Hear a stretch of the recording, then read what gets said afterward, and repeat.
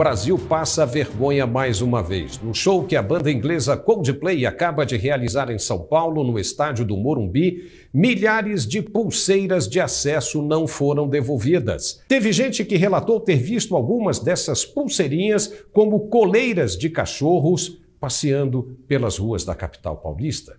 Tudo bem que se trata de uma questão cultural do brasileiro que adora levar um souvenir para casa de algum evento legal que tenha participado. Mas regras são regras e, quando são estabelecidas, é para serem cumpridas, principalmente em um evento privado como foi o show.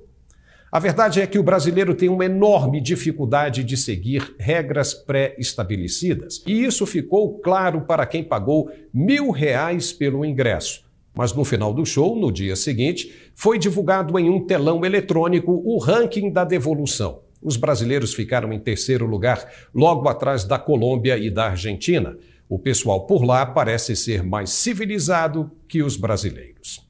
Em São Paulo, 79% das pessoas que assistiram o show devolveram as pulseirinhas coloridas. Na Colômbia, em Bogotá, 85% devolveram. E na Argentina, campeã, quase todos retornaram o acessório. Foram 94%.